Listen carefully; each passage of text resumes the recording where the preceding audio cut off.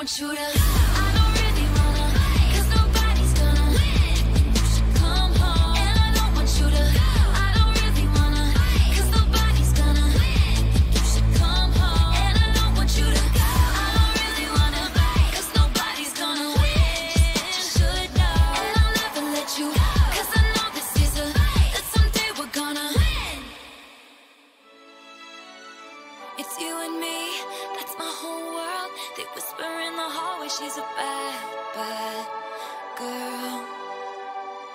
Oh, I just thought you should know.